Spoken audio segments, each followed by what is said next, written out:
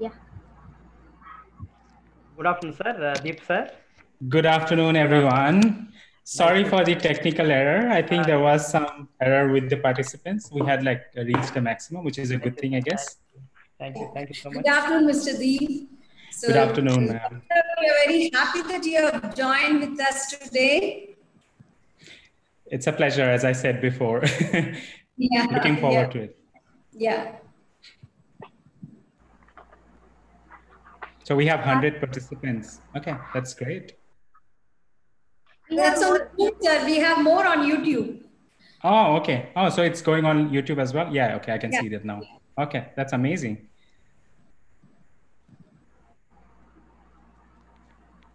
So you can you guys can hear me well, right? Yes, yes. Yes, Okay. Dr. Okay. Okay.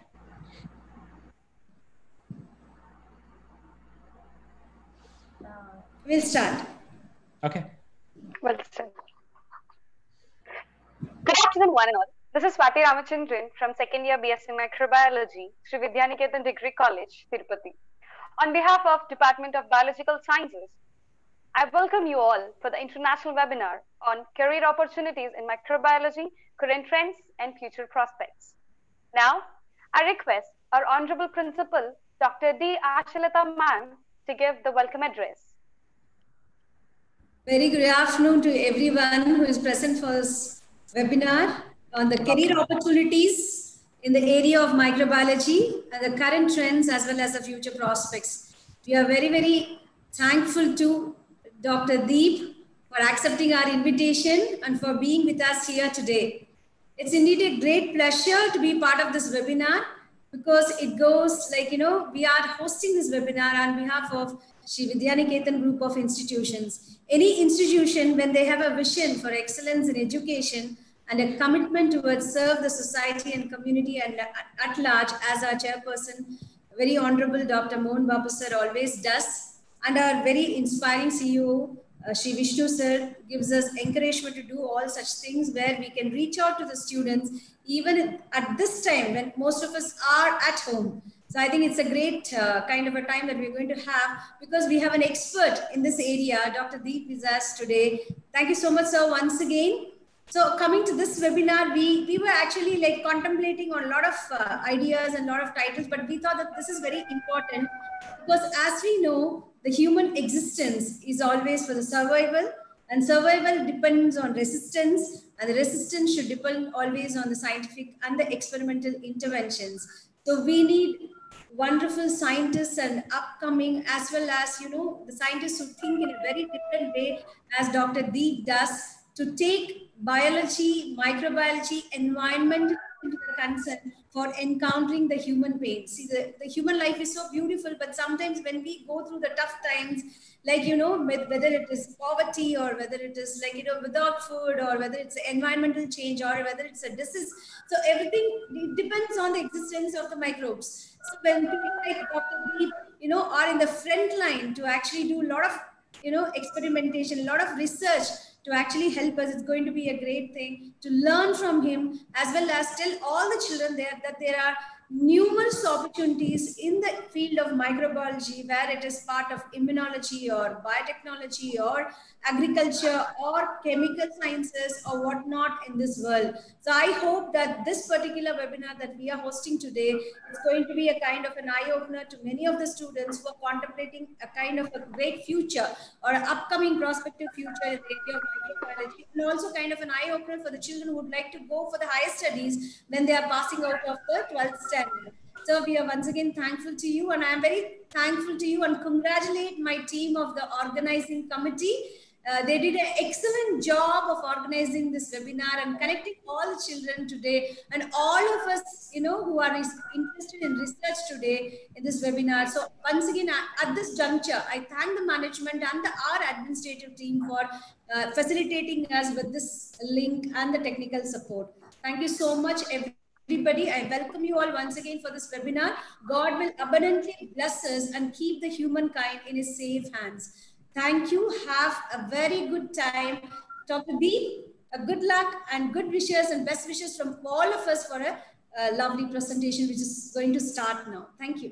Thank you. Thank you. Thank you, ma'am.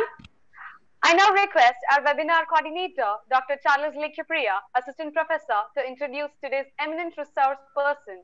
Over to you, ma'am. At the outset, I thank Dr. Deep Jyoti Bhuyan for accepting our invitation to act as a resource person for today's webinar. And I deem it a pleasure to welcome Dr. Deep Jyoti Bhuyan. He is currently working as an ARC postdoctoral research scientist at NICM Health Research Institute, Western Sydney University, Australia. Dr. Deep received his PhD from the University of Newcastle, Australia. He worked on the role of phenolic compounds and antioxidants from Australian eucalyptus as anti-cancer agents for pancreatic malignancies. His present research is aimed at understanding the complex synergistic interactions among various phytochemicals on specific biological targets and how these interactions can be applied as therapeutic strategies against different metabolic disorders. In India, Dr. Deep worked as a senior research fellow at the Assam Agricultural University and he has published several research articles in national and international journals of high repute in the areas of natural products, anti-cancer and antimicrobial research. He is also actively involved in teaching microbiology at the University of Newcastle and has a number of collaborative projects in Australia and India. He has received several awards like Higher Degree Conference Scholarship, International Postgraduate Research Scholarship, and Central Postgraduate Research Scholarship from Australia. He received Merit Scholarship for his best academic performance when he was a student in VIT University, Vellore, Tamil Nadu, India. We are honored to have you with us today, Dr. Deep Jyoti Bhuyan.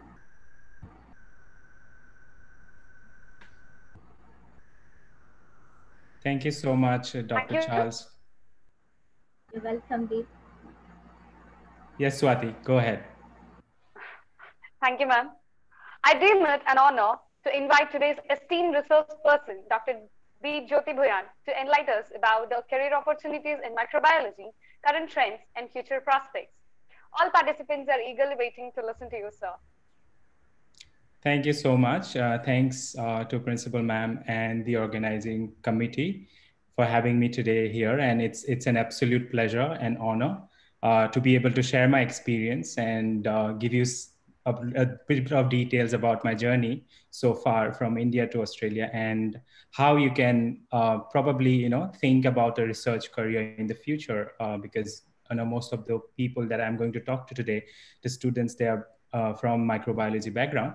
So how long do I have uh, for the presentation? You could take your own time, Deep. Okay, okay. I'm just trying to time it, you know, so that I don't go over time. Uh, anyway, I'm going to share my screen.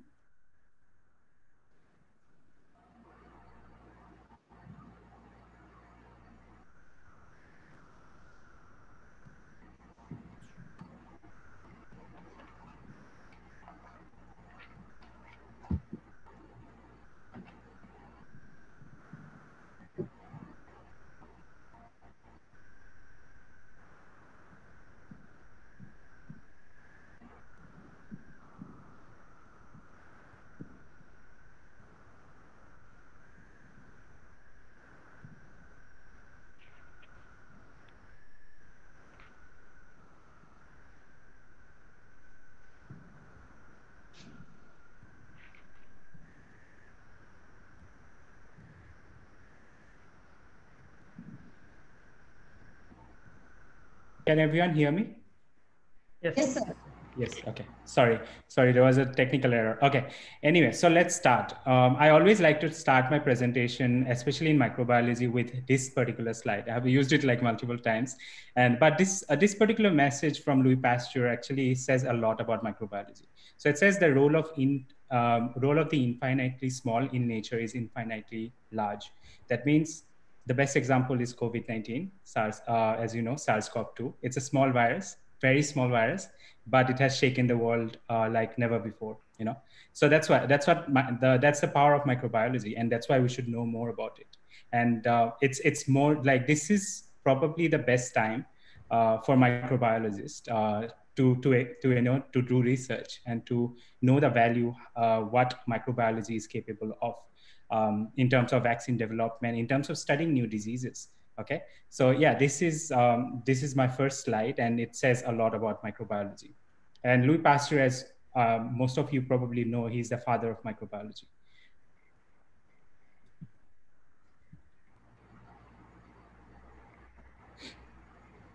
Okay, so this is my journey. This is my science journey, and uh, I like to um, you know do a lot of uh, social media promotion or science uh, in terms of science communication. And these are my handles. If you guys uh, want to follow me and uh, follow my journey what i do uh, in terms of my daily professional and personal life you guys can do that. And i'll tell you more about it later on. Okay? All right. So i, I would like to tell you a little bit about my background. As you already have uh, probably you know know like most of the things that dr Priya has told. And um, these are just background information to give you so that you know that my actually career or my um, the, the study and the research journey has different elements to it. So it's, it's quite diver diverse in a way. So I want you to encourage to have a diverse um, uh, research career or uh, study uh, journey. Okay. So first, uh, I did my bachelor's in biotechnology from Bangalore University. And in that um, course, I actually studied uh, three different uh, specializations. First one was in biotechnology, then genetics and biochemistry. And I also did a thesis on um, Mendelian uh, genetical traits. Then I did my master's in applied microbiology from VIT University um, and also worked in Defense Research and Development Organization in Assam for six months for my research uh, project. So uh, luckily after my um, master's, I was actually, I got a travel grant to go to Germany uh, to attend um, a program that was actually geared towards uh, graduates in um, in microbiology or in virology to be specific. And it was actually funded by this university called frederick alexander university and harvard medical school. Um, and then in in uh, my masters i learned different aspects of microbiology how you can uh, mostly the applied aspects like how you can use the knowledge of microbiology in different fields. So it, it actually showed us that microbiology although it is in a big area in itself, but it can be applied in different um, interdisciplinary fields. And that's why I'm going to talk more how it actually, this particular master's degree actually helped me uh, to branch out in terms of like my PhD and other things. Okay. And um, in, in, during this course, actually during this project itself, I, I actually studied the antimicrobial properties of 12 different plants that are widely used in Assamese medicine, traditional Assamese medicine and Ayurveda uh, in DRDO. And then I went to Germany for a while and I did uh, attend uh, the, the, what you call the graduate training program that they had there. And then also presented my work at a national uh, conference um, in, in Assam itself. And I wrote a review paper. I'm, I'm going to emphasize on papers and publications throughout my seminar, and you'll know why it's important at the end. Okay, so so the master's was I did uh, I produced a review paper both based on my master's research. Then came uh, a scholarship from a fellowship actually to a senior research fellowship from uh, Indian Council of Agricultural Research, and it was in Assam Agricultural University. And it was a part of a national uh, agricultural innovation project so it's a very very big project and uh, i was very lucky enough to you know work on that project as a senior research fellow. And in that project we learned a lot of things about uh, northeast itself because we don't know much about uh, all these traditional practices that the northeast india has. And also like um, it's it's like a treasure trove of all these different plants. And bi- biodiversity uh, wise it's so rich that you can you know utilize that biodiversity to excrete or extract different phytochemicals that can be used in modern medicine even or modern agriculture okay so in this particular project i actually studied interestingly um, i studied about rice beer so northeast in northeast they we produce traditional different uh, types of rice beer and also like how uh, we can use that rice beer and the plants that they use to produce those rice beer can be actually used in medicine. So I actually started looking into different antimicrobial properties, including bacterial and antifungal properties, as well as antioxidant properties of rice beers. And then um, I produced two research papers based on that. Okay, this was uh, after my master's, before my PhD. Okay, and then also presented at an, uh, at an international conference in Tamil Nadu. And I was also fe featured in several regional and national newspapers, including Times of India. So our research was actually uh, featured there, which was amazing, you know, at that time because I was just uh, out of my master's and I was like, oh, this is really good. I, I think I can do that. Um, yeah, then came uh, 2014 when I uh, when I actually received a scholarship, uh, actually two scholarships from um, in, uh, from University of Newcastle in international postgraduate research scholarship and central uh, postgraduate research scholarships uh, to pursue my PhD in Australia.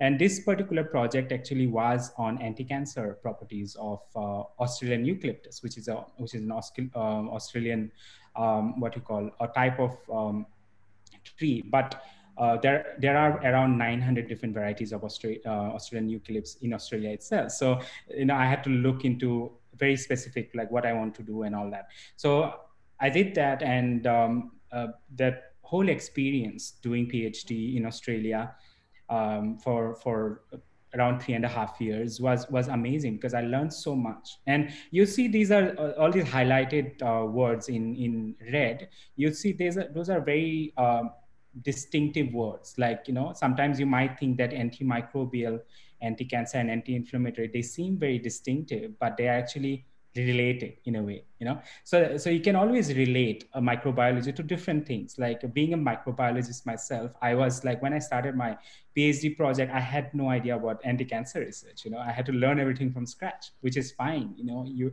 if you are interested you can learn anything basically so these are the things that I did during my PhD research, and I published around like quite a lot of papers actually, and then also uh, presented at uh, different international conferences in America, New Zealand, uh, Singapore, and Australia as well.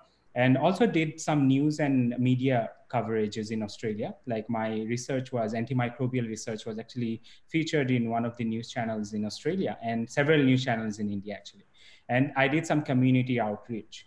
Um, as I said before, I like doing community out outreach. I like interacting with uh, people uh, from different backgrounds and also students from microbiology or biology or science in general. So that that's a part of the community outreach that I usually try to do whenever I go back to India or like I'm doing right now. I, I consider this as a part of my community outreach, which is amazing, you know, to be able to do that. Um, and then came my postdoctoral research. So soon after finishing my uh, PhD from Newcastle University, in 2018, I was offered this job at Western Sydney University and National Institute of Complementary Medicine, which is which we call it NICOM. Um, so it's a part of Western Sydney University. It's an independent research institute, and um, we have uh, our area of expertise is to do uh, research in natural products and uh, so far like i'm still working on that. So i'm i'm uh, uh, i'm still a postdoctoral research scientist there. And so far we have produced like you know several uh, publications and conference and news coverages in india and also community outreach. Okay?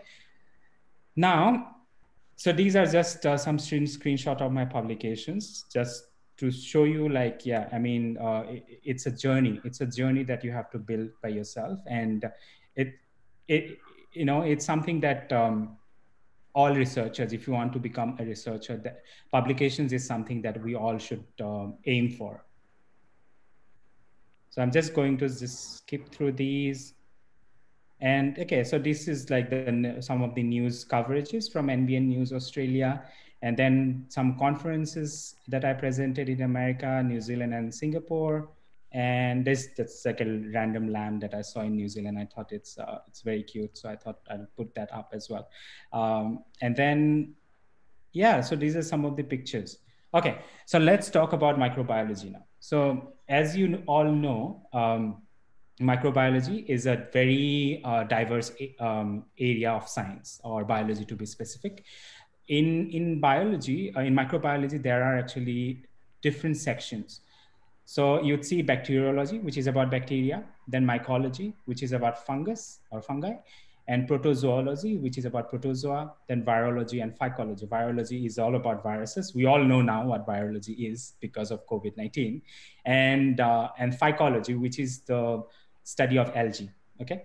So as I said before, microbiology is extremely interdisciplinary. So just because that you're um, you're doing a degree in microbiology does not mean that you have to pursue your research in microbiology in the future. You can actually use that knowledge to do something else, to work on genetics, for example, or cancer, you know, or inflammation, or you name it. So there are lots of options that you can actually choose from. And in terms of career options, I would say that um, there are actually two, two aspects of um, careers. Uh, one is in industry and one is in academia. Uh, I would probably talk more about uh, the academic aspects of um, careers in microbiology in this uh, particular session because that's what I can probably tell you because I, from my experience.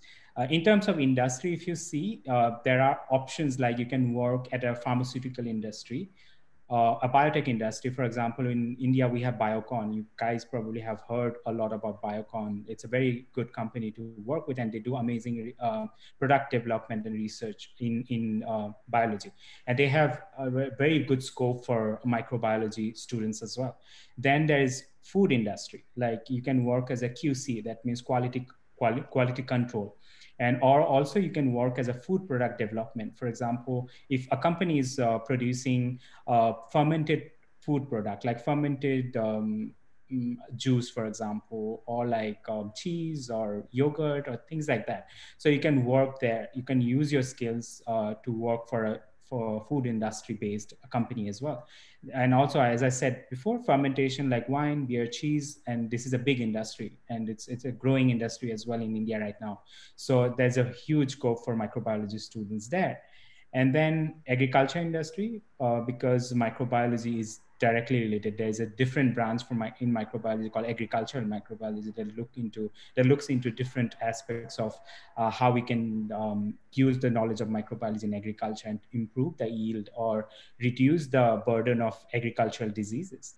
And same goes for forensics. You know, uh, forensic science that also um, they also need microbiology graduates in terms of academia, there are, um, when I say academia, it means universities, then research organizations and labs um, throughout the world, okay, not just in India, but overseas as well. And in these, um, in these labs or universities, you can work as a food microbiologist or clinical and medical microbiologist that actually um, basically focus on um, medical or um, different diseases or clinical aspects of different diseases um, related to microbiology.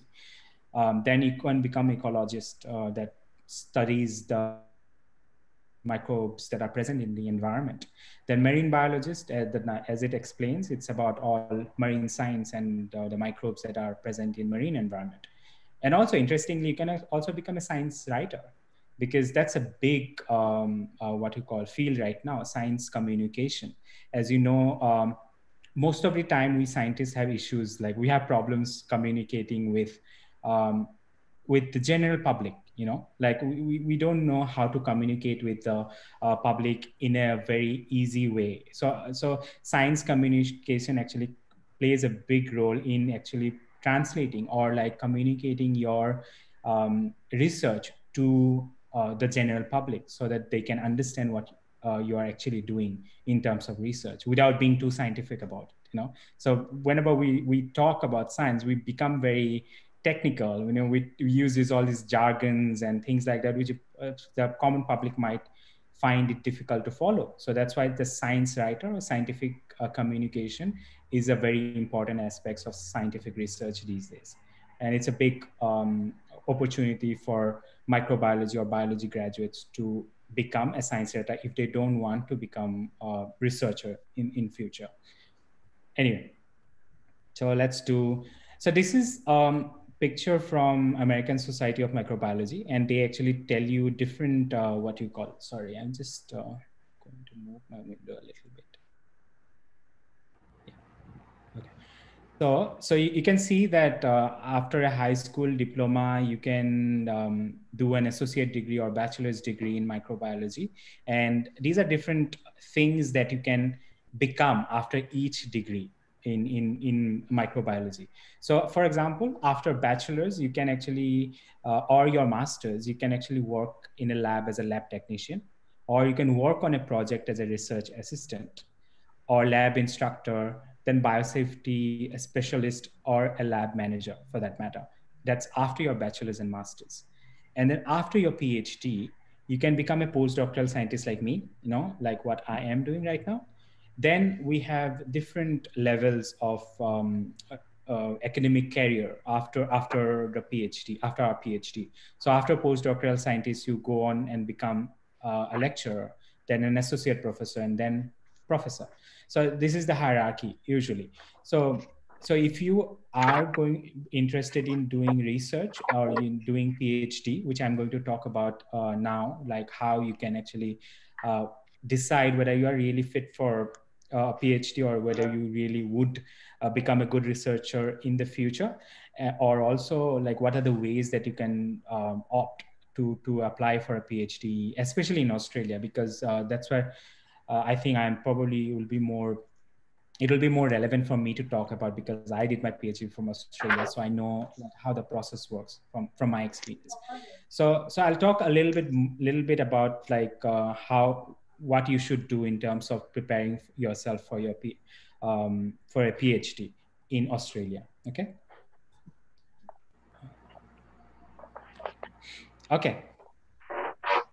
So in Australian culture is very laid back and very easygoing.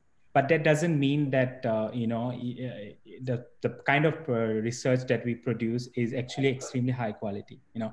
So so the laid back nature the friendly nature is actually quite good for for us researchers because when when i started my phd i actually immediately came to know that people are extremely friendly they're very helpful they'll help you through different things and it actually makes things easier for people to uh, do things like a PhD because PhD, as as um, Lekia might be able to verify that it actually is um, something that you really have to be interested in. Otherwise, you won't be able to um, do it because you need a constant motivation to do a PhD.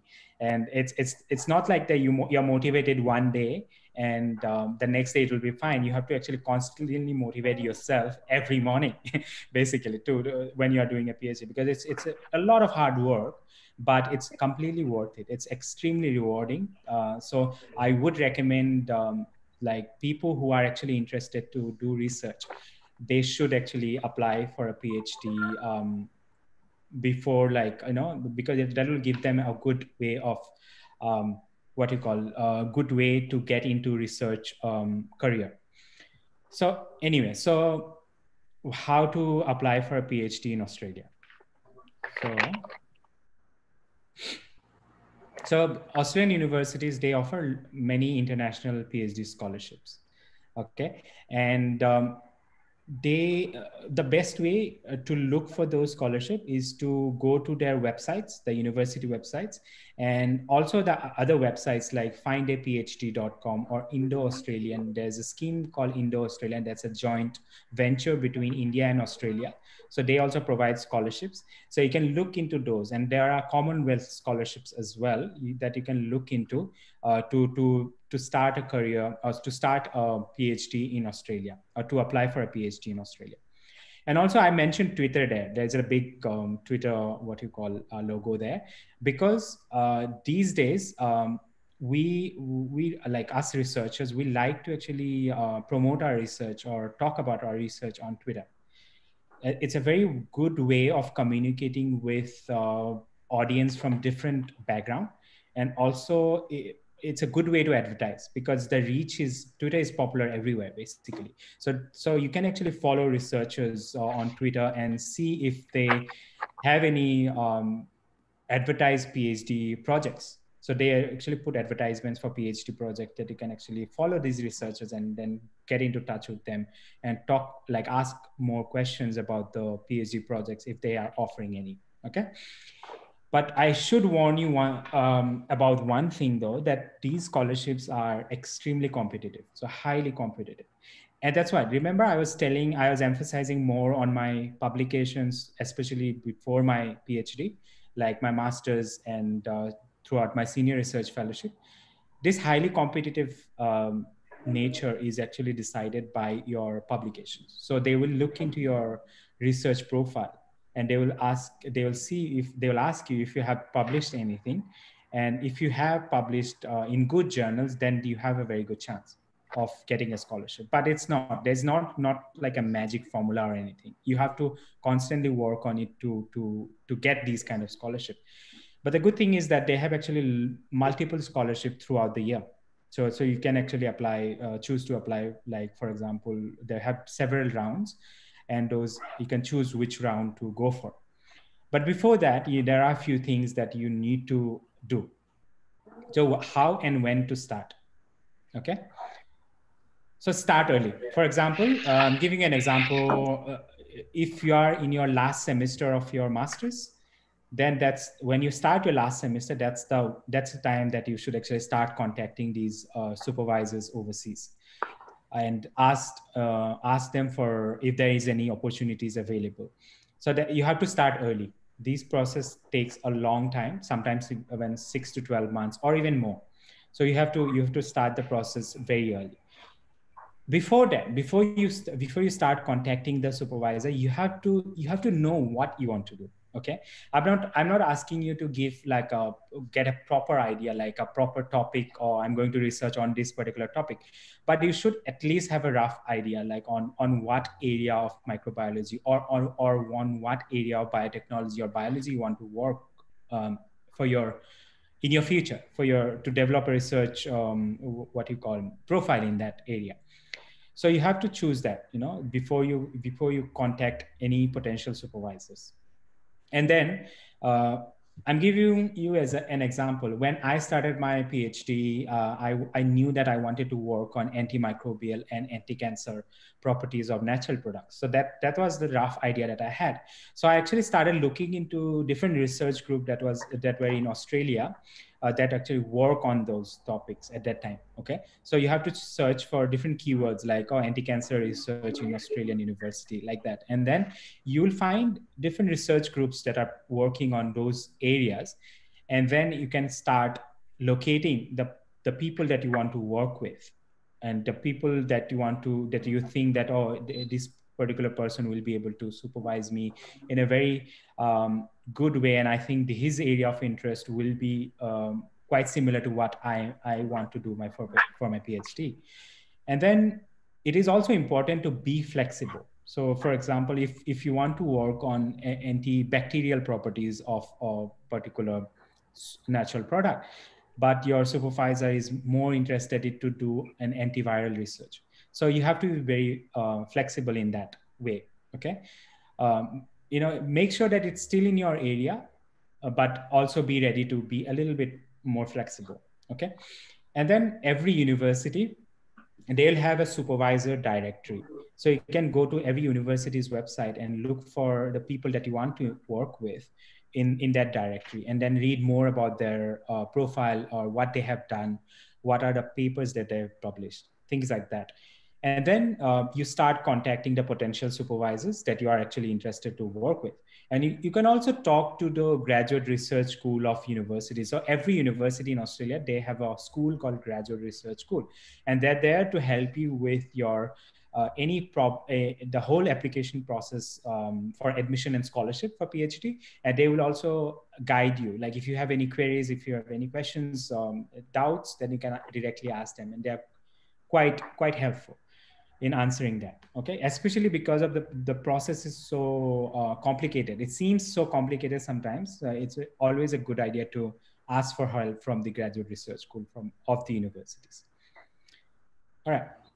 So now the you know that okay i know how that i want to work on that this particular project or i want to work with this particular person.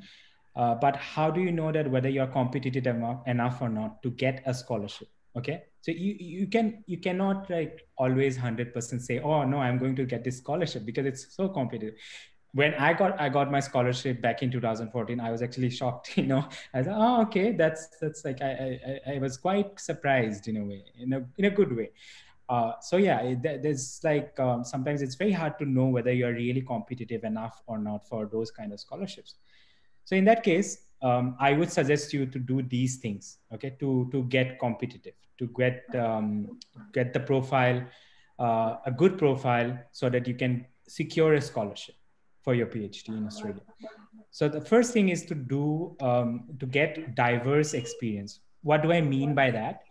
So like sometimes we have this tendency to, to work on like the same people, you know, throughout our life, like throughout our, you know, what you call masters, for example, or bachelors. But it's very important to get a diverse experience. So work with different people different groups and different organizations. And in india like the government has have recently started paying a lot of attention to uh, development research and development. So they're uh, putting in a lot of funds and um, they're sponsoring different uh, universities to do research in different aspects including microbiology so it's very important that you actually contact these people and uh, uh, you actually volunteer for to work with them. So vo- volunteering at universities and research labs is extremely important, and also like you can get paid or unpaid internship. The, the internship that I had with DRDO was unpaid, and I was quite happy to do that because that was a part of my uh, master's thesis. So it's extremely important to get those kind of internships or volunteering work, uh, and it, it makes your CV or resume look strong uh, for, a, for a PhD scholarship. Okay. And then it's also very important uh, to read a lot. So you read different sorts of um, literature, like scientific papers, like research papers, review papers, books, magazines, online articles on, on topics like um, that you want to uh, do um, research in, in, in future. Okay. And also it's, it's very important to polish your English and writing skills. Um, we are not um, expecting you to have like amazing english but you know a basic level of english is extremely important because that's a requirement for visas as well. So when you apply for a phd or um, a phd in, in australia of course you have to apply for a visa as well if you get the scholarship. And in that time that during that time you you will need to have um, uh, a proficiency uh, test done for your english and it's it's quite important then I would suggest you to do some public speaking as well, if you can. Like talk about talk about your work, talk about your profile to people. Like when I say public speaking, I'm not I'm not uh, like imagining like thousand people. You know, just you know, a group of friends, for example. You know, or like family or things like that. Just talk. You know, even though sometimes you you, you might think that they will not understand, it's okay because you know that way you're actually building your confidence as well to talk about your uh, work okay? Then the highlighted one is publish your work. As i mentioned before it, publishing is extremely important. I understand that you know when you are doing a bachelor's or master's sometimes it's not feasible to do a research paper okay so because you do you haven't done any research yet in that case you know what i would suggest that you read a lot like um, read different literature as i said before and then write a review paper if you can okay write a review paper on a topic. So for example, oh, I want to write a review paper on um, antimicrobial properties of uh, citronella or antimicrobial properties of neem, for example, you know, things like that. And then read on that topic and write a review and then try to publish that review. And also it's very important that you avoid uh, predatory journals. There are different journals that actually ask you uh, to write for them and um, you publish with them but at the end you would know that these journals are not good. You know they're like predatory. They, they are not going to add anything to your uh, resume. So look for those predatory journals and try avoid those journals okay at any cost. And also if you can attend or even present at national and international conferences be that organized by you know by your university or your college you know try to attend that and try to speak to different speakers from um, uh, uh, from different countries you know. That will actually give you um, good exposure in terms of what's going on around you what's going on in the world in, in that area of uh, your interest. Because these are the things that you can actually follow to make sure that um, you are competitive enough okay Okay, so now, um, sorry, yeah. As I said before, uh, uh, now that you know that, oh, I am actually quite competitive and I might have a good chance of getting a scholarship, and now you want to contact the potential supervisors. So you want to know like, oh, I, I want to work with this particular person, but I have to find a way to contact this person in a way that he I make a good impression on this person. so that he or she will be able to or will be interested to supervise me. So in that case what you, what you should do you should do your research. That means you should read about their work okay? About the research work what they have published.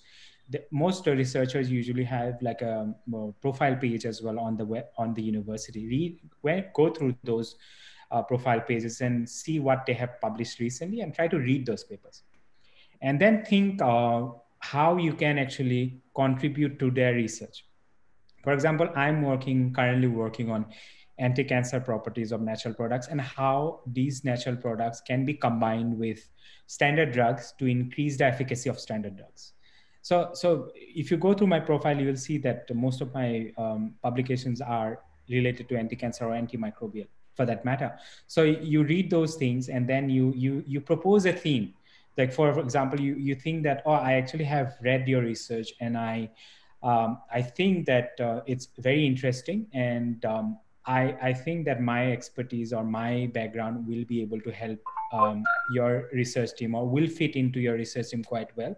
And uh, so you have to think critically. You have to think in a way that um, not just you know sending an email saying oh uh, i read you i read about your work and i find it interesting and i'm interested to work with you. But that, that actually doesn't give us much. So we, we get emails like that on a daily basis from different um, students especially from india that they say that you know, um, those are very generic emails you know? They send those emails to different uh, people in australia or different people worldwide like uh, different researchers. So they, what they do they say that oh, i'm very interested to um, I'm, i read your work. It, i find it interesting and i want to do i want to work with you and um, i think my skills will be helpful.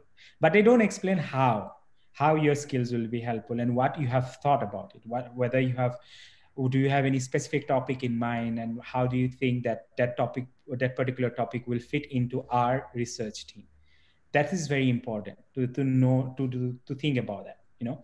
And and after after you do all that research but by research i mean after you read uh, about the potential supervisors um, uh, profile and their papers then you contact them okay? And um, as you can see here on my slide that that you know just the points i'm not going to repeat them. And uh, i think i think i have explained most of the things. And um, i think it, as i said it's extremely important for you to to um, explain how you're going to um, fit into that um, particular research group and how it will complement how your skills will complement them. Okay?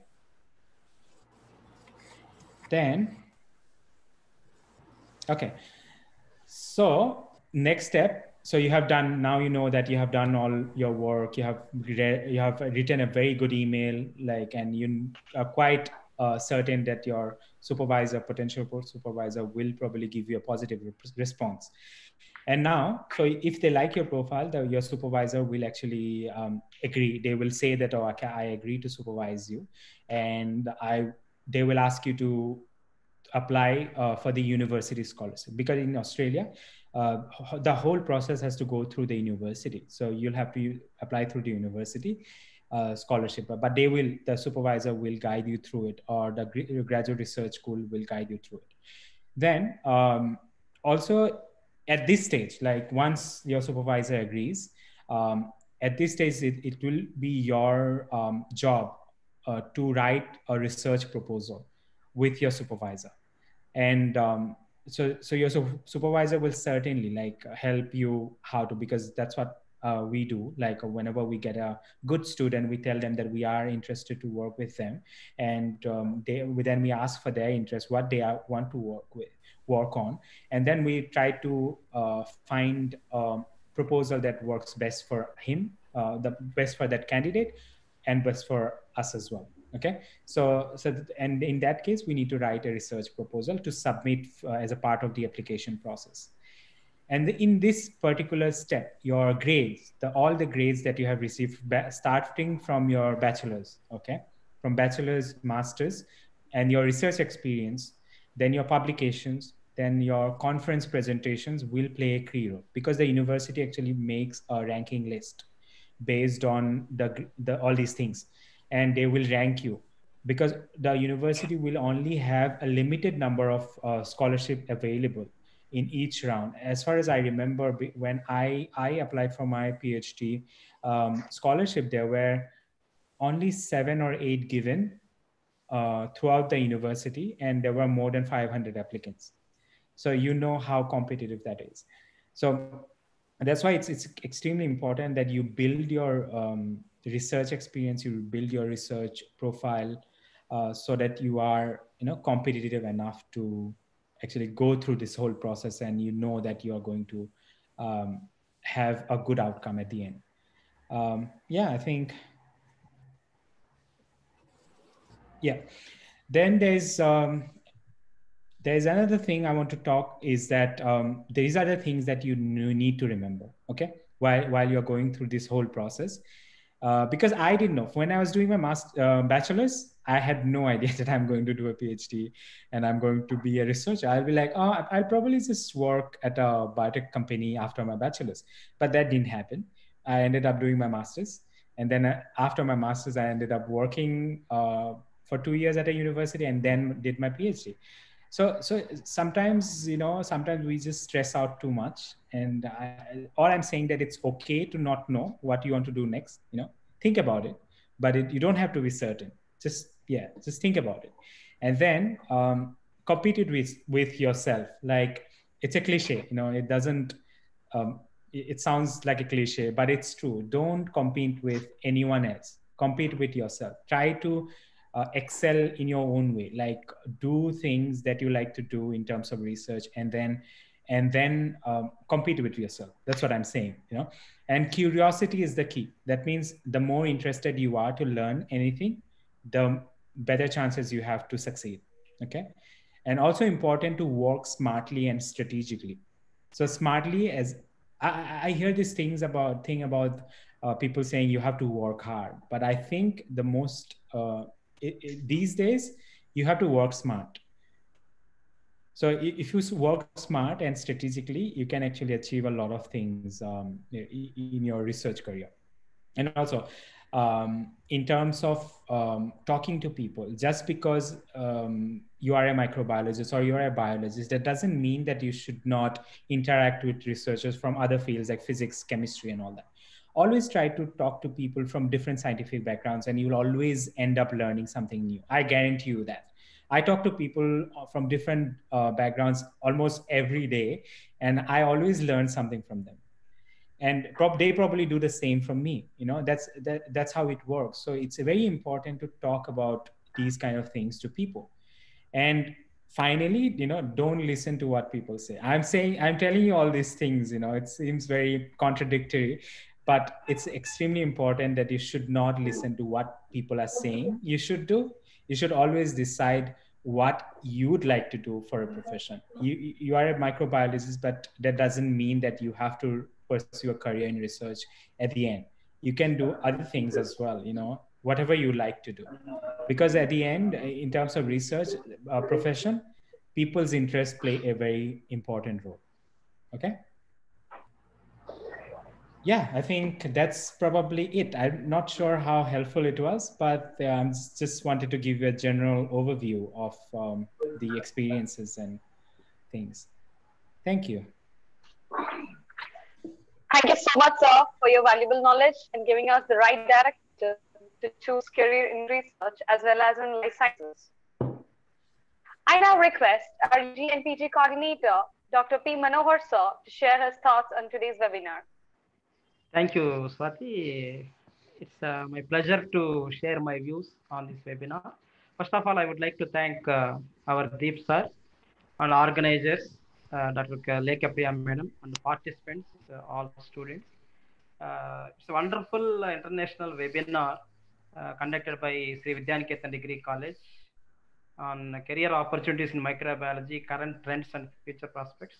With this webinar, I am sure that all participants are really enlightened with career opportunities in microbiology. This webinar covers our uh, deep thought covers many, many how we are going to enter into the uh, different uh, places, locations to do as a postdoctoral fellowship like PDF. And uh, what's our uh, resource person has told that about the quality in research is there in uh, Australia. So those who need uh, quality of research and uh, interest to do PhD or higher education, definitely it would help to all the participants. And also, uh, SAR has covered about the nature, friendly nature and environment uh, in that uh, in Australia. It's uh, very good uh, for the students. Uh, it will be comfortable. It will be safe for uh, all the students to do PhD in Australia. I'm rightly say that uh, and also our resource person has covered many many like how we are going to apply for phd in uh, australia when to start especially in final semester it will take 6 to 12 months or sometimes it will be more so that is a plan uh, our uh, participants have our students have uh, their own plan when they are going to start uh, to go to this process and SAR has suggested the books, reading the books and referring the magazines and online articles they want to refer. It's a good uh, sign to all the participants uh, to go for uh, this aspect. And uh, need to develop all the participants on the behalf of all the participants. They need to develop their writing skills as well as public speaking skills and also publication of works, uh, what they have done is, uh, is really good for all the students. They, they can follow. These are all the topics SAR has covered is really good and really uh, impressive by all the participants. And also uh, here strategic, one of the point I am very much uh, interesting about uh, uh, this webinar, smart and smart working and strategic working. It's very, very mu- need, uh, very much need for all the participants or uh, those who are interested to join in uh, PD as a PDF in other countries. And also, I want to uh, remember uh, our uh, principal madam, honorable principal madam, um, Ashalata madam words yesterday. She told that during uh, trial session, what he what she said is, knowledge is not power. Knowledge is not power, but sharing the knowledge is power. Really, uh, Sir has shared. Sir, thank you once again. You have shared a lot of knowledge to our, all of our participants. Really, we, we got uh, very much uh, information from you, sir. Definitely. Finally, I thank to all organizers and uh, uh, so our principal madam and participants. Definitely, in future uh, we are expecting some more international webinars. Uh, uh, we will we will definitely will conduct uh, with the help of our resource persons. Once again, thank you, thank you to all. Thank you. Thank you, ma'am. Thank you, sir. Thank you. Now it's time for the question and answer session. I'm glad that we have participants from Russia, Assam, Kerala, Tamil Nadu, and various institutes of Andhra Pradesh. Welcome to the question and answer session. And now I request Dr. V. Sridevi Man to start the question and answer session. Uh, so many students are asked uh, some of the specific questions about uh, opportunities of PhDs in India. Specific questions about opportunities in India. Uh, what are the Um, opportunities of PhD in India? Oh, there are actually quite a lot of opportunities. I think uh, most universities do cover, do offer uh, PhD scholarships, but uh, correct me if I'm wrong because I'm not very familiar with the inter, uh, the Indian way, uh, like Indian system.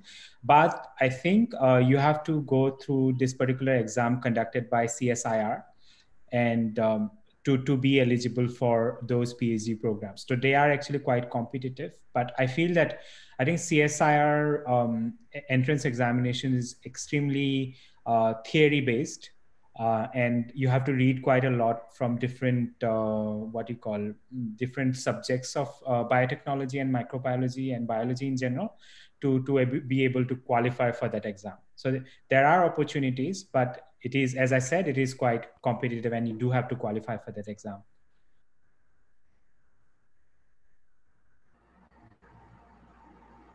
Okay. There is another question. How to become a quality control officer? Hmm. Oh, it's a very good question, actually. Um, I think for quality control, what I would say in terms of microbiology, uh, food microbiology um, industry, you will have to have a degree in microbiology as well. to, to be able to conduct, uh, to be able to do a, a quality control uh, job at an industry. Uh, but there, I think uh, most industries also run different training sessions as well for example, if they think that you are a good candidate or, in, or you might uh, belong to genetics or biotechnology, might not have any microbiological ex, uh, experience, even in that case, they might actually be able to give uh, give you proper training before you start the job. So, but I would I would imagine that for uh, to become a quality control um, officer in a, in an industry, you would need a microbiology degree. Thank you. Uh, what are the career opportunities in food technology in overseas after MSc Food Technology? Hmm. Um, I can tell you about Australia. In in Australia, the uh, the university where I did my PhD from, uh, my my PhD is actually from the Department of Food Science. Okay, although my topic was in cancer and eucalyptus, but my PhD uh, department itself was uh, in food science, and I could see that many of my uh, students, the students that I taught uh, in bachelor's, they were actually after finishing their bachelor's itself, they actually got placed in different uh, food industries in Australia, in in this um, particular state of Australia, and um, but I think uh, we, in regards to hiring international students, they actually prefer hiring people who are already in Australia. Uh, so food industry because the visa process is so complicated sometimes, and for them to you know support you for that visa process, being an international applicant, it actually is an added um, uh, what you call tr- trouble for them so that's why I, I don't um, I didn't actually see them hiring many international candidates. Most of the candidates that they hired were from Australia itself. But I, am sure that in terms of food technology, um, what you call career opportunities in India, there are so many food companies now. Like there are well-known companies like Amul, for example. Those companies hire food technologies on a regular basis for for their work so so but i think it's always a good good way to uh, good uh, idea to try actually try for uh, overseas um, jobs and contact the company's uh, human resources. So they all companies will have a human resource department. So if you are interested to do a food technology job you can actually reach out to them say uh, tell them about your qualifications and experience and tell them that ask them whether they're hiring people from overseas or not uh, would you suggest any universities for pursuing PhD in India? Mm. Oh, there are amazing universities in India. There's so many universities. It depends on what you would like to do, basically. As I said before, it depends on your topic, your research area of expertise. I cannot really pinpoint one university saying that or just go for this particular because every university has its own strength when it comes to research. One university might be very good at doing uh, physical physics research, and one might be good at doing biological research. So you will have to choose that. You'll have to select what based on your topic. What are the best qualities to become a good scientist? Oh wow, wow! That's that's a great question. Uh, that's a great question. Uh, there are many actually. Uh, I would say the first is being patient okay you have to be very very patient because most of the time scientific experiments don't work as you plan uh, them to be. So you have to um, be ready to uh, face failures. You have to embrace failures. It's, that's probably one of the most important qualities i would say uh, to to become a scientist. If you are patient if you know how to handle failures uh, and if you are interested in scientific research those are the qualities for to become a good scientist. How to apply for the post of research assistant? Postdoc research assistant as in postdoctoral researcher? Uh, jrf srf after okay. completion of their masters. Okay. So in in india or in australia? Both in india as well as Okay, okay. Um, I think for for to become a JRF or junior research fellow in India, um, you'll you'll still need to go through that CSIR exam that I mentioned before, and um, Lekha, you can you can add if you if you think that I'm wrong because you know I, I, have very little experience in terms of yeah yeah yeah job prospects in India, uh, but I, I would say that you still need to go through that CSIR entrance examination. ICMR. Yeah. yeah. Yeah, there are different organizations that do that, and you have to follow that. Can we do MSc food technology with bachelor's in microbiology? Is that a good option? Yes, I would say it's an amazing option because you'll you'll bring the skills of microbiology to food technology and food technology. If you think of it, if you think about it, it'll it has um, because fermented food you know yogurt cheese all these things have microbiological part uh, linked to it. So you can definitely bring the skills that you have learned uh, in your bachelor's in microbiology and do a master's in food technology. It's a very good combination i would say. Uh, do we need any exams like csir net to do phd in abroad no, you don't. That's the best part. I think if I if, if, I would have failed, you know, if if if I had uh, uh, if Australia had a entrance examination, I'm very bad at writing an entrance examination. So because uh, I, would like to think. Um, more in a practical oriented uh, manner thing like science in a in a practical approach you know rather than theoretical approach. I know theory is important but you know to base something entirely on theory i don't i don't um, find it very relevant. So uh, but yeah to answer the question there's no such thing as entrance examination to get a phd abroad but you do need to have a few scores for your english. So there are uh, english proficiency tests that you can uh, take to prove that you have good enough english to enter a PhD program in Australia, and that uh, that is the only test that you need, and uh, that test is not very difficult to do. My specialization is bioinformatics. Can I use computational biology in microbiology? Of course, yes. Um, computational biology is used everywhere. So, so for microbiology, for example, these days you probably have heard this particular term called microbiota. So this is about the gut microbiota. So the the microbial communities that are present in our gut. So there is a lot of research going on on this particular uh, topic and computational uh, biology plays a key role in that aspects. And same happens with drug development.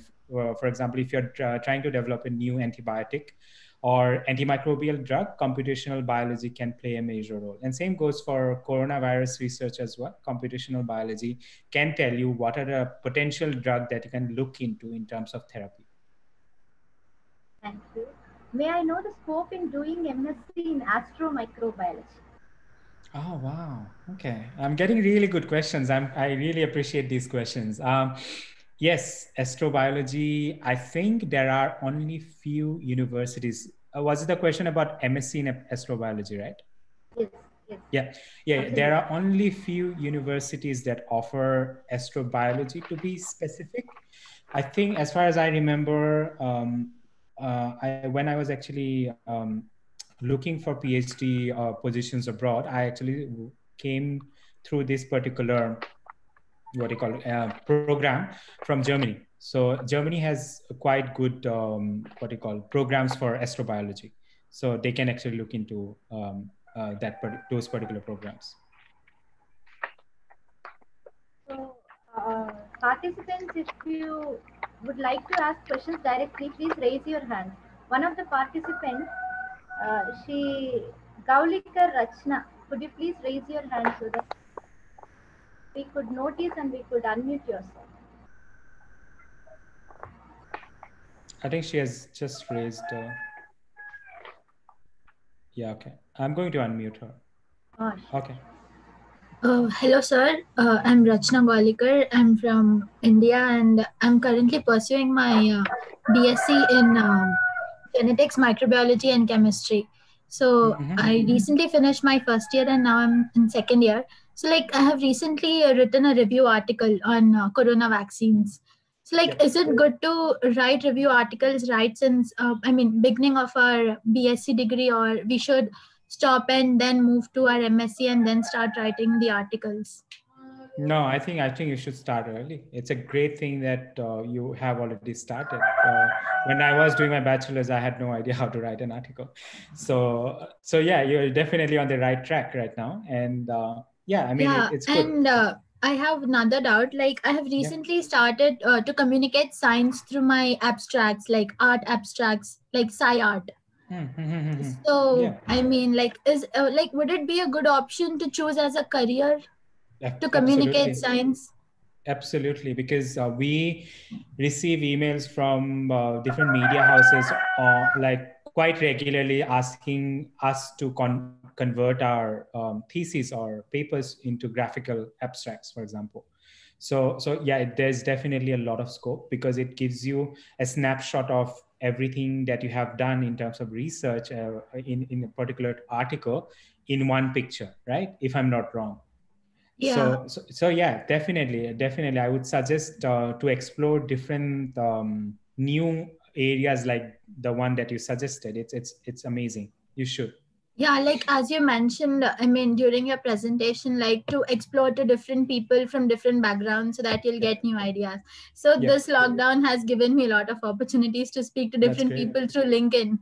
And yeah. it's really going amazing. Like getting new ideas in the, in the field of science is really great. And your uh, career opportunities in microbiology also enhanced me to think more about it. That's yeah, that's good. Happy to help.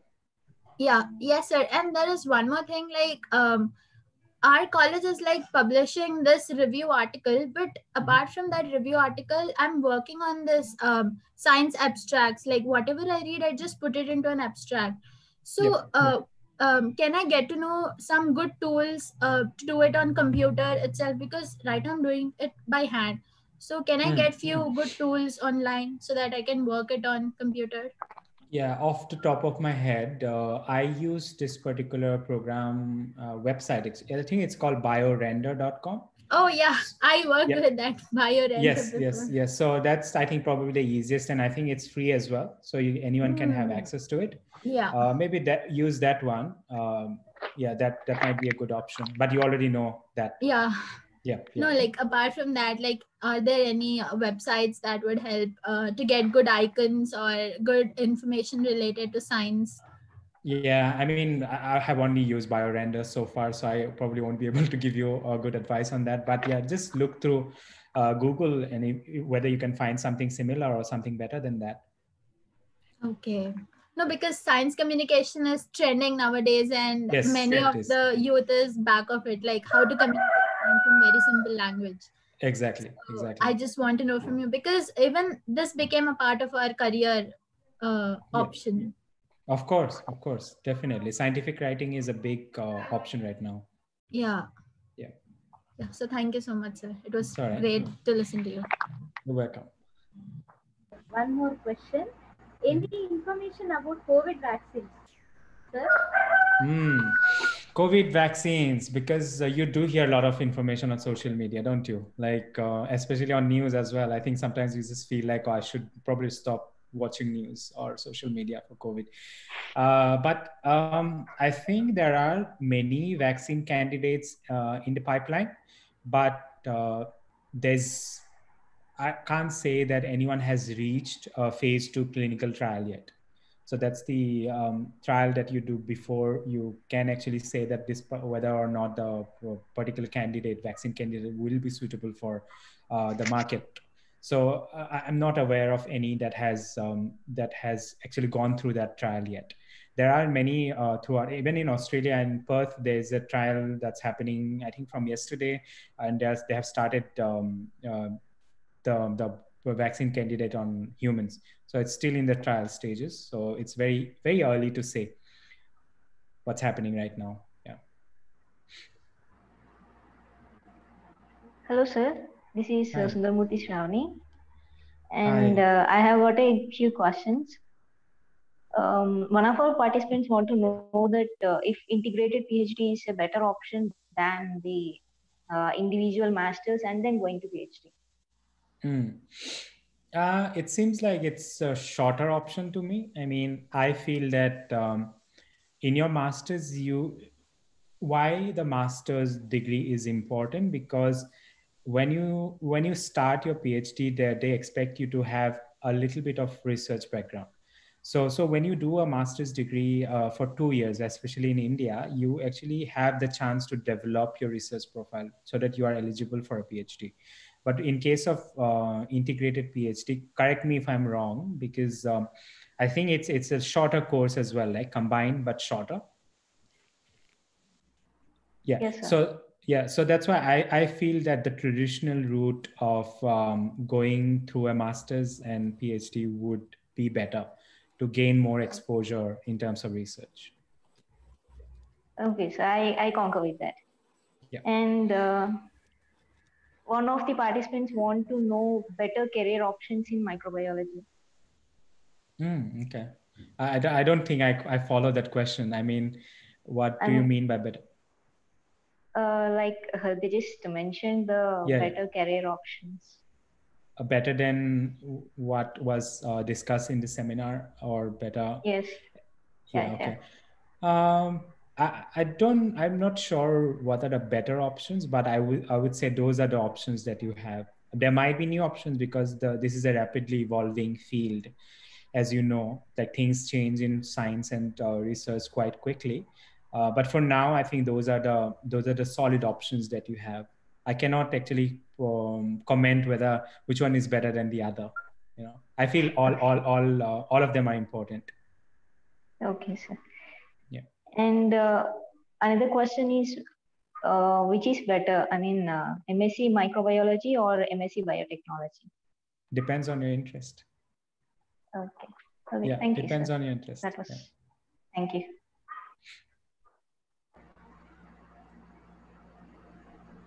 Yeah, thank you so much, Deep, uh, Dr. Deep, for uh, uh, for your patience and uh, very good presentation. Uh, Swati, you could continue. Thank you, ma'am. Thank you, sir, for your valuable information. And now we'll move on. I request our Head, Department of Biological Sciences, Dr. S.V. Ravikant, sir, to propose vote of thanks. Thank you very much. On behalf of organizing committee, I would like to thank Dr. Deep for his excellent talk. I could see the adrenaline rush in delivering the content, and you have dwelt upon almost all the areas of microbiology one can lay his hands on. You were absolutely spot on about the career in microbiology, and I'm sure students have received free consultation from an expert. It was crisp, and you have put it everything in a single capsule. I am pretty sure the student community would pursue research in areas like forensic science, agriculture, genetics, immunology, quality control, science writers. This is something new, and I'm pretty sure this is one area I would be interested because I teach English.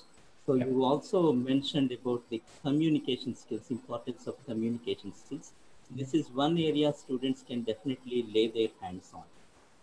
Dr. Deep, this is just the beginning.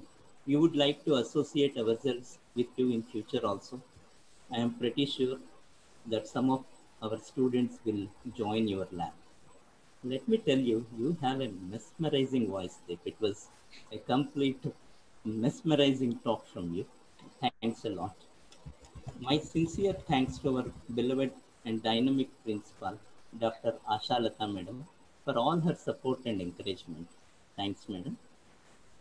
I would like to thank our UG and PG coordinator, Dr. P. Manohar, for his encouragement and support. He has been always with us right from the beginning. I would like to express my thanks to Mr. Munishankar, lecturer in computer science. He has made this possible, all these feedback links and all the computer related works. It was he who um, executed it and made it possible. I would like to express my heartfelt thanks to all the students and participants without whom this event would not have been unfolded. I would like to thank our student coordinators, Ms. Yamini, Ms. Shravani Sundaramurthy, and Ms. Uh, Swati Ramchandran for all their efforts right from the beginning in making this webinar a grand success. Thanks, Amma, all of you. I would like to thank our management for supporting us in all possible ways and making this event possible. I would like to thank media team of Sree Vidyanikethan Educational Trust for designing brochures and e-certificates. I would like to place on record that the webinar coordinator, Dr. Lekha Priya, fondly known as CLP Madam, among student community for spending sleepless nights and leaving no stone unturned to make this webinar a grand success. Thanks, Amma. You have made DBS very proud. The feedback link will be shared through WhatsApp and I request you to send the fill and send the feedback links. E-certificates will be sent to you in a couple of days for those students who registered in the webinar. I would also like to thank Rachna Gaudikar, a very young student. I'm pretty sure some of uh, our students will take a leaf out of her book. She has started writing review articles, and, and as Deep has correctly mentioned, we didn't even know that something like a review article exists when we were in undergraduates. So thanks, Amma. You are doing an excellent job, and I'm pretty sure you will uh, be a very good scientist in course of time. I thank one and all for giving me this opportunity. Thank you very much. Back to you, Swati. Thank you, sir. I thank all the participants for joining us today. Kindly fill the feedback forms for receiving your e-certificates. Thank you all and take care. Thank you, sir. Uh, uh, thank you, Ravikant sir, uh, for uh, uh, congratulating me. It's nothing like that. It's just that I want to explore science in my own field. So uh, it's just that right since I started my career in BSc, like um, I was opposed. I mean, I wasn't interested to do MBBS because I want to explore many things through BSc and then MSc and then my PhD work. So it's uh, it's just the first initial step that I have taken uh, to start writing the review article, and then uh, as my passion to art, I have started to make art abstracts in science. So it's nothing to tell me thanks or nothing like that. It's just my I, I just wanted to ask sir about more in this uh, field. So that is why i wanted to ask him. That's it. So thank you very much. Like this webinar uh, it really gave me a lot of opportunities in the field of microbiology as a career. So yeah thank you so much. Thank you, Dr. Deep. So, you know, on behalf of the college and our dynamic team of faculty and the organizers, so we are very happy that the presentation was really excellent and very, very informative for the students to pursue excellent career opportunities in the forthcoming years in the area of microbiology. I hope that your guidance will help them to reach great heights in coming tomorrow. We hope that God will be there with all of us to take care that our ideas are very, very proactive as well as, you know, they create, co-create a new world is going to come tomorrow and we'll be part of it, all of us together. Thank you. Thank you so much for having me, and uh, it's a pleasure to. And I, I'm happy to. Um, if anyone wants to reach out uh, to me in terms of if they need any advice uh, or with anything, uh, as long as it's related to research, or uh, I'm happy to help them out. So they can follow my uh, social media handles, uh, and they can reach out to me directly there. And thank you so Sure. much. Sure, Deep, we are going to post your mail ID in the webinar group so that if Yeah. they have any questions, if they have any queries, if they have any doubts regarding education in Australia, they could contact you. Yes, yes. Thank you so Thank much. you so much. Thank you so Thank you. much for accepting our uh, invitation and inspiring all our students, motivating all of us. Thank you so much. Thank you, one and all. Looking forward to see you all in the upcoming wegi- webinars. Thank you so much. Congratulations, Rikia. Thank you, ma'am. Thank you. All right. Yes. May I end the program, ma'am? Yes, really. Yeah. Thank you. Thank you, Deep, once again. Thank you, ma'am. Pleasure. Thank you. Take care, all of you.